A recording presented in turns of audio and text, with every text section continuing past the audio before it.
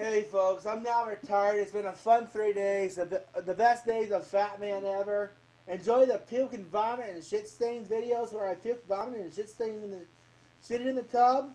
Um, my name is Christopher Paul Whitney. I live in Rutland, Vermont. And people, most people call me Fat Man. but My real name is Christopher Paul Whitney. And I'm now retired. Enjoy the videos, the puke, the vomit, and the shit stains. And all the cool stuff that you Moxie should be uploading and all this. And I hope you enjoyed the last three, three days. We got really heated up. But I'm retired now. And I'm off to move on with life. Bye now. Fuck the world and fuck mental health treatment. Oh yeah. And this is Christopher Paul Whitney signing off for the last time. I'm now retired. Bye now.